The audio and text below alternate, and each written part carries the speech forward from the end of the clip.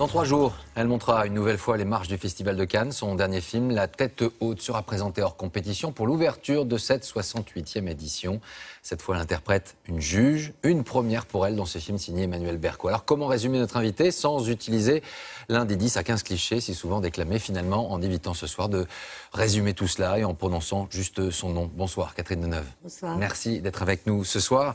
Euh, vous nous dites ce matin dans le journal de dimanche qu'il n'y a plus de stars en France ah, euh, c'est-à-dire que c'est pas le problème avec les, interviews, c'est qu'on a l'impression toujours de faire des déclarations. Donc on m'a posé la question et je dis oui, mais en France il n'y a plus de stars parce que je trouve que c'est une notion qui correspond pas du, plus du tout à. À l'époque?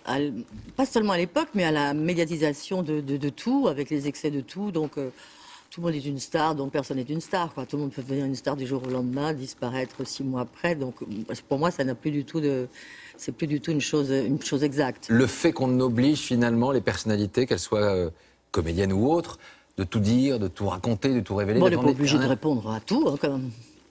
On n'est pas obligé de répondre à tout.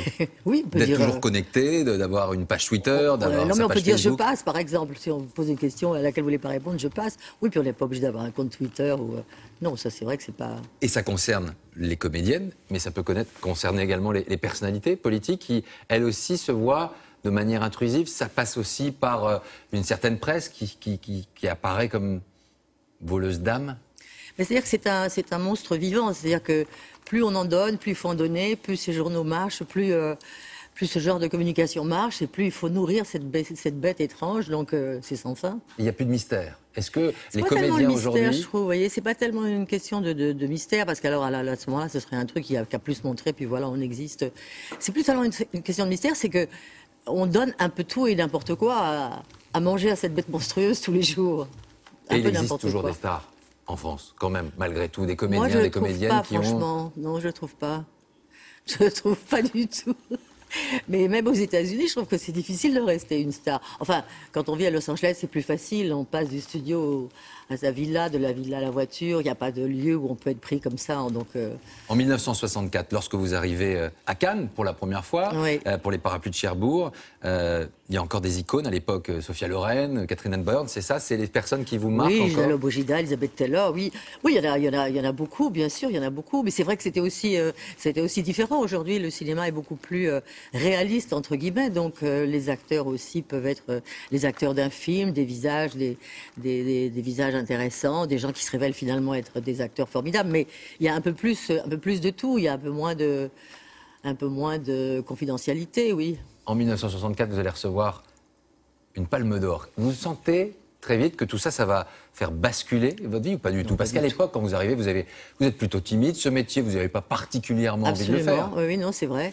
Non, et puis c'était la première fois que j'étais à Cannes, donc si vous voulez, on ne se rend pas bien compte, on n'a pas de point de, comparaison. Donc, euh, non, c'était une soirée formidable, le film a eu le prix, voilà, c'était. Euh, mais je ne peux pas dire que je me suis dit, ah voilà, quelque chose commence là, non. Une palme d'or qui était un peu gâchée, puisque finalement. Euh, votre sœur, Françoise peu... qui finalement a, a, été très critiquée dans ce film de Truffaut. Bah, c'est pas elle qui a été critiquée, c'est que le film n'a pas été bien reçu. C'est un film très, c'est un film étonnant, un film qui a pris sa place avec le temps parce que c'est souvent comme ça au cinéma aussi.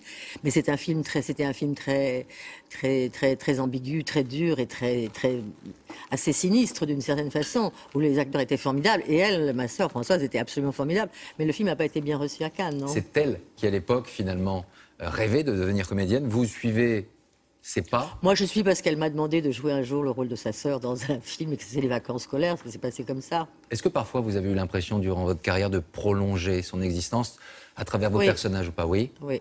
C'est pas tellement prolonger son existence, c'est avoir l'impression dans certains films, dans certaines scènes, avoir pensé à elle et me dire ça, c'est le genre de scène où j'imagine bien comment elle aurait, euh, euh, spécialement dans les, dans les comédies, oui. Alors, vous avez une nouvelle fois monté les marches mercredi avec un film euh, qui ne sera pas en compétition, mais qui va ouvrir le festival. La tête haute, dernier film signé Emmanuel Berco. Vous interprétez, je le disais, un juge pour enfants, un magistrat pas comme les autres, on va le voir. Euh, on regarde tout cela avec Nicolas Le Marinier, puis on se retrouve juste après. Celui qui a eu l'idée un jour de donner à Marianne le visage de Catherine Deneuve ne croyait pas si bien faire. C'est peu dire que l'actrice a incarné à l'écran bien des visages de la société française l'épouse libérée des années 70 avec Potiche, la française résistante de 1942 dans le dernier métro, Une jeune grand-mère en pleine crise existentielle, c'était Elle s'en va en 2013. Dans son nouveau film, La tête haute, elle est une juge pour enfants qui aide un ado en perdition. tout ce qu'on vient de dire. Tous les efforts là, hein, parler à la psy, tenir à carreau, réfléchir, tout ça là, ça sert rien qu'à faire plaisir à vous, à ma mère et aux éduques. Moi j'en ai rien à gagner là-dedans. Mais non, Mélanie, tu le fais, c'est pour toi et pour personne d'autre. Le long métrage, quasi documentaire, a été tourné dans un vrai centre éducatif fermé et une prison pour mineurs. Ce sont pas les murs sombres d'une cellule qui vont l'aider à y voir clair, à un âge où on s'interroge. C'était une volonté de la réalisatrice. Je voulais surtout rien d'approximatif, rien de fantaisiste. Je voulais que ce soit le reflet pur et dur de la réalité que j'avais pu observer quand j'ai fait mon enquête avant, avant le film. Il n'aurait pas compris que je pas en Face à la juge, Benoît Magimel joue le rôle d'un éducateur. Pour lui, Catherine Deneuve apporte beaucoup au réalisme du film. Ce môme, il va péter un câble en prison. Non, je ne crois pas. Et là, voilà, cette grâce qui fait que euh, incarner et ne pas jouer. Quoi. Voilà. C'est pas une actrice, c'est quelqu'un qui incarne ses personnages euh, avec une, une justesse euh, déconcertante. Insaisissable, serait-ce le mot qui définit Catherine Deneuve? Elle n'est jamais là où on l'attend. Un jour, au milieu de la foule, dans un concert de Madonna. Oh, c'est ravissant. Une autre fois, sous une serre, elle est amoureuse du jardinage et des fleurs. Discrète, l'actrice défend tout de même les grandes causes comme le SIDAction en 1994. Elle est fidèle en amitié. La plus belle histoire d'amour, c'est vous. Elle chante au dernier défilé d'Yves Saint-Laurent en 2002. Catherine Deneuve avoue qu'elle n'aime pas les récompenses. À quoi bon? Elle a gagné depuis longtemps le respect des Français.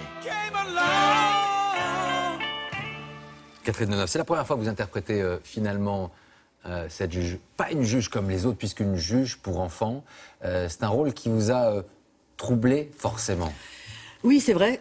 Mais les juges pour enfants, je crois que c'est assez particulier parce que c'est vrai que finalement, c'est un monde qu'on connaît très peu. Mhm. Le monde de la justice, on le connaît à travers les films. Il y a quelque chose de beaucoup plus, euh, qui me paraissait beaucoup plus schématique. Et c'est vrai que avec Emmanuel, elle, elle me l'avait demandé. Mais je dis bien sûr, évidemment, je dirais. Euh, J'irai assister à des, à des audiences, j'irai assister à des enfants avec leur, leur euh, comment appelle-t-on ça, leur conseiller pour euh, voir comment ça se passe, quel est le ton surtout. Parce que c'est vrai que les phrases après, c'est assez dur, c'est assez euh, telle, telle, telle chose à telle date, à tel moment, vous avez dit ceci. Donc c'est vrai que ça me faisait un petit peu peur ce côté-là. Et, et quand j'ai été euh, assistée à ces réunions et ces rendez-vous avec les, ces jeunes et les, les juges, j'étais frappée du ton qui existait entre eux. C'est-à-dire qu'il y a une, une écoute absolument incroyable. Une écoute, une violence, la loi et une écoute. Un besoin de lien. Finalement, une justice très humaine. Très humaine, oui. Oui, oui. Oui, ça m'a beaucoup, beaucoup frappé. Pas étonnée parce que je pense quand même qu'on est un pays où la justice euh, vraiment signifie quand même quelque Mhm. chose. Mais quand même, par rapport à ces enfants, le nombre de personnes qui sont impliquées, que ce soit les juges, que ce soit les avocats, que ce soit les conseillers, c'est absolument incroyable de déployer autant de, de présence et d'écoute et d'attention à des enfants, euh, souvent, oui, des... j'ai rencontré d'ailleurs plus de garçons que de filles hein, dans ces couloirs. Et c'était assez émouvant. Il y a cette relation euh, particulière avec euh, Maloney. Euh, Rod Parado, c'est son nom de ce jeune comédien, devenu comédien, qui n'était pas du tout comédien, qui allait Pas passer un, CAP menuisier, qui est incroyable dans ce film.